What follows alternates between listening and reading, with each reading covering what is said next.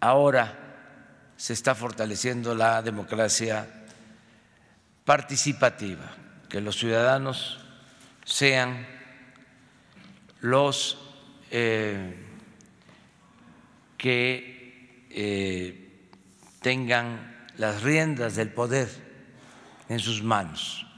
No es eh, elegir a la autoridad y que el que representa al gobierno pueda hacer lo que le dé la gana, sino que siempre el ciudadano tenga la posibilidad, como lo establece la Constitución, de cambiar la forma de su gobierno.